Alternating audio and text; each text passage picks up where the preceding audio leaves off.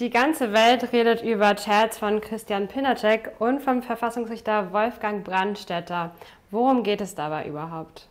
Das ist eigentlich eine komplizierte Geschichte. Das sind nicht die, äh, das hat nicht mit den berühmten Chats zu tun, die in den letzten Monaten durch die Medien geistern von äh, Thomas Schmidt. Ähm, die Chats, um die es jetzt geht, die hat auch nicht die WKSDA ausgewertet, äh, sondern die kommen von der Innsbrucker Staatsanwaltschaft. Die ermittelt in einer ganz anderen Frage, nämlich ob Brandstätter und Pilnacek äh, geheime, also Geheimnisse aus der Justiz verraten haben, möglicherweise Hausdurchsuchungen verraten haben an ÖVP-Politiker. Äh, und das steht gerade im Zentrum. Und bei Ermittlungsmaßnahmen dazu äh, wurden, wurde unter anderem das Handy von Christian Pilnacek ausgewertet. Und der hat deutlich vorsichtiger agiert als Thomas Schmidt in der ÖBAG. Also da gibt es nur aus einem kleinen Zeitraum Textnachrichten. Mhm. Der hat ansonsten gut gelöscht, gute Messenger-Einstellungen gehabt, aber dieser kleine Zeitraum reicht schon aus, um, um deutlich mehr als ein, als ein Sittenbild zu zeigen. Äh, sie zeigen nämlich eindeutig, wie Pilnacek äh, und Brandstätter äh, zusammengearbeitet haben, um ein ÖVP-Netzwerk in der Justiz aufzubauen. Der Kanzler spricht also gern von roten Netzwerken, aber Tatsache mhm. ist, die letzten Jahrzehnte gab es fast immer mhm. ÖVP-Justizminister. Äh, Brandstätter war selbst sehr lang Justizminister, ist jetzt eben VfGH-Richter oder äh, jetzt eigentlich nicht mehr, er tritt ja zurück äh, wegen dieser Skandale. Richtig hochgekocht ist der Skandal um abfällige Äußerungen der beiden über andere Mitglieder des Verfassungsgerichtshofs, aber viel mehr politische Sprengkraft hatten eigentlich Chats, die darauf hinweisen, dass Pilnacek zusammen mit anderen hochrangigen Beamten aus der Justiz die E-Mails der WKSDA überwachen wollte, mhm. äh, die ja gegen ÖVP-Politiker ermittelt äh, und äh, dass Pilnacek auch äh, Geheimnisse an ÖVP-Politiker unter anderem an Sebastian Kurz verraten haben dürfte. Mutmaßlich, muss man aus juristischen Gründen dazu sagen, äh, denn das würde eine Straftat darstellen. Mhm. Mhm. Alles klar. Ähm, aber wie konnte Pilnacek überhaupt so mächtig werden? Ja, Christian Pilnacek äh, ist sowas wie ein Schattenjustizminister der letzten 15 Jahre gewesen. Also in der Justiz gibt es den Witz, der aber eigentlich den Kern der Sache sehr gut trifft. Wer unter Pilnacek Justizminister ist, ist egal. Mhm. Ähm, das ist der klassische Fall eines so mächtigen Beamten, äh, der eigentlich deutlich mehr Einfluss äh, hat äh, in der Justiz als, als viele, die formal äh, über ihm Minister waren. Ähm, Pilnacek hat in den letzten Jahrzehnten, muss man eigentlich schon sagen, ein System aufgebaut, wo Karriere in der Justiz nur machen kann, wer mit Pilnacek gut ist äh, und wo alle, die Widerstand leisten, durch äh, kaum verhohlene Drohungen, teilweise auch durch, äh, durch Weisungen eben hinterangehalten werden. Da wurden missliebige Staatsanwälte äh, überwacht, da wurden Verfahren mhm. erschlagen. Mhm. besonders perfide war ein System, versteckter Weisungen, ähm, also nicht ausgesprochener Weisungen, wo aber jeder wusste, was gemeint war. Ähm, seit der Reform der Staatsanwaltschaften 2008 sind die Staatsanwälte in Österreich Ermittler, äh, Untersuchungsrichter und Ankläger in einer Person. Das ist also total viel äh, Verantwortung für eine mhm. einzelne Person. Äh, die Staatsanwälte legen also fest, wer überhaupt angeklagt wird und wie dann ermittelt wird. Also sie leiten auch die Ermittlungen. Äh, und das Pikante daran ist, die Staatsanwälte sind aber weisungsgebunden.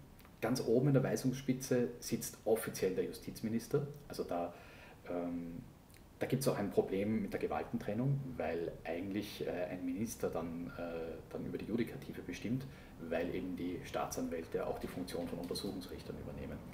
Aber weil es eben egal war, wer unter Pilnacek Minister war, äh, kamen die relevanten Weisungen sehr häufig vom mhm. oder von Leuten unter ihm in der Weisungshierarchie, die aber ganz loyal sind. Äh, das war zum Beispiel der Fall bei Ermittlungen äh, gegen René Benko, äh, der verdächtigt wurde, dass er Amtsträger bestochen hat im Rahmen eines Immobiliendeals. Es wurde zum Beispiel niedergeschlagen in der Weisungskette.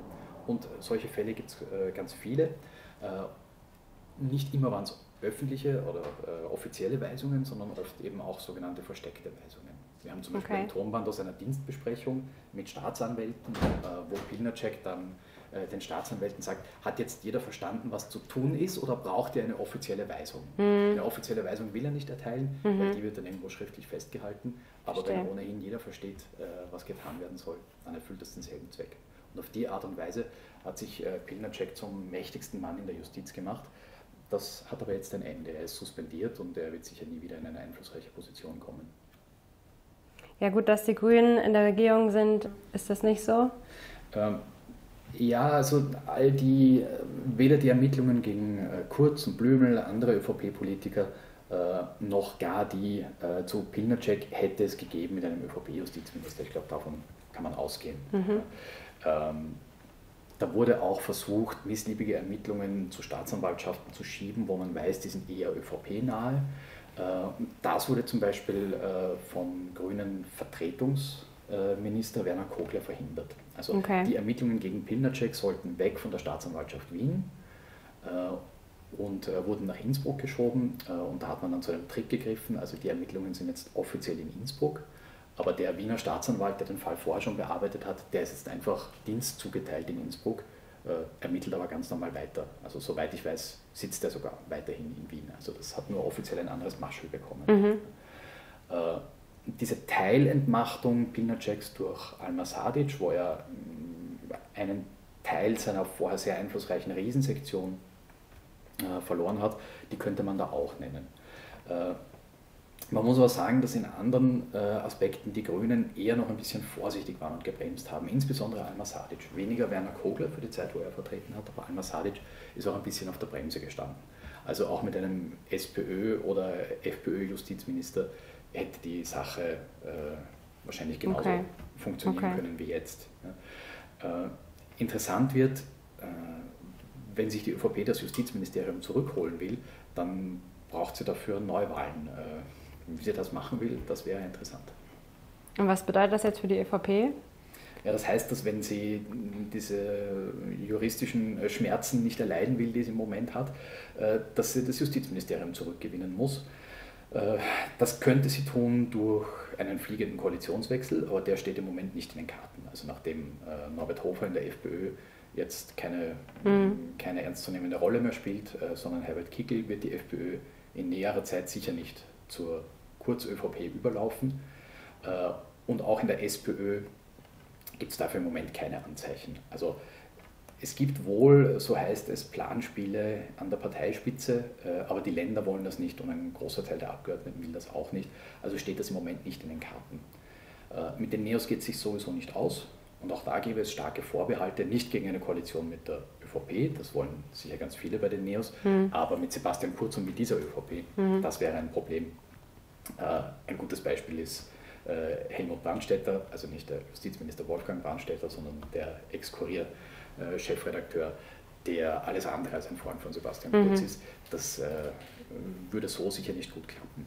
Also will man das Justizministerium zurück und Kontrolle über die Ermittlungen gewinnen, dann braucht es Neuwahlen. Aber für die ist das Zeitfenster sehr klein. Also das müsste passieren, bevor Anklagen stehen gegen äh, wichtige ÖVP-Politiker, zumal gegen Sebastian Kurz selbst. Also da gibt es die äh, Ermittlungen wegen falscher Beweisaussage äh, im U-Ausschuss, ist schon schlimm genug, ist mit bis zu drei Jahren Haft bedroht. Die wird mhm. Kurz nicht bekommen, auch im Fall einer Verurteilung als Ersttäter ähm, sitzt er da sicher nicht im Gefängnis. Aber das wäre natürlich trotzdem problematisch, schon eine Anklage wäre problematisch. Und es drohen ihm äh, sehr wahrscheinlich auch noch andere Anklagen. Also wenn man die irgendwie loswerden will, dann muss man vor diesen Anklagen wählen. Äh, aber dazwischen müsste ein oder der von der ÖVP versprochene fantastische Sommer liegen. Äh, mhm. Die ÖVP hat ja die Corona-Pandemie sozusagen als beendet erklärt. Äh, noch schlägt sich das in den Umfragen nicht nieder, da steht die ÖVP für ihre Verhältnisse nicht gut da. Mhm. Auch Kurz ist für seine Verhältnisse nicht sehr beliebt. Jetzt wäre also nicht der richtige Zeitpunkt, um zu wählen. Äh, man müsste warten, bis sich die Stimmung in der Bevölkerung wieder etwas bessert und dann bräuchte er auch noch einen Grund, um zu wählen also es den Grünen so unangenehm wie möglich zu machen. Das hat er, glaube ich, bisher versucht. Äh, aber die Grünen sind trotzdem ziemlich schmerzbefreit in der Koalition geblieben. Man wüsste nicht, was er denen noch antun sollte, äh, um sie zum Bruch der Koalition zu bewegen. Äh, und ihm fehlt ein bisschen der Grund. Also es ist eine Zwickmühle für die ÖVP. Mhm. Ich glaube aber, wenn es hart auf hart kommt, sobald sich irgendeine Gelegenheit bietet, dann wird der türkise Zirkel um Sebastian Kurz versuchen zu wählen und dann auf jeden Fall in dem Koalitions- Vereinbarungen versuchen, das Justizministerium zu erobern.